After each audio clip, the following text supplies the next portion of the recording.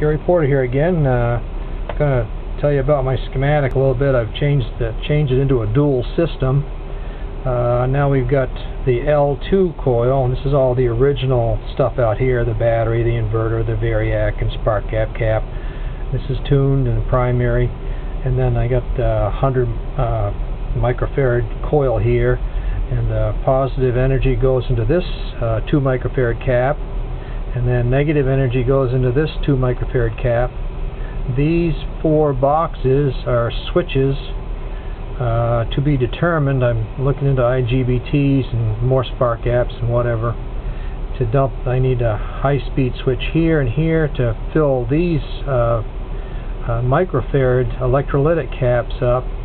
And then this, the energy from the positive side goes into a motor and uh, the negative back EMF is going to be collected and passed to the other side of the dual system. When the negative goes into the motor, the positive back EMF is reflected back to the, uh, the positive side of the system. Uh, the motor itself has uh, dual coils for each coil set. Uh, one coil is to receive the power.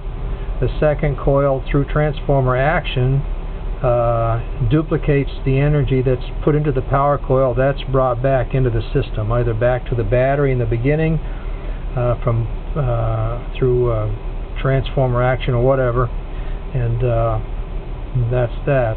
Coil shorting from Doug Konzen is also going to be applied in this area and energy from that will also be used to feed back into each half of the output system.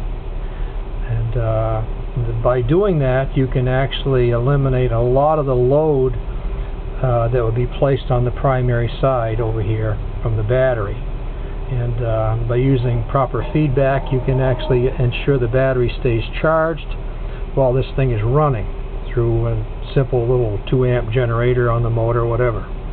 The motor itself, the basic design is going to be uh, 18 inch rotor with 2 inch neo magnets uh, glued into it.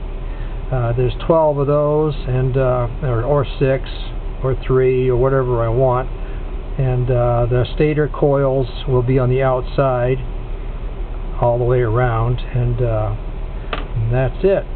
So that's where we're headed and uh, the system can not only run a motor but it's going to also run a vibrating system to produce household electricity.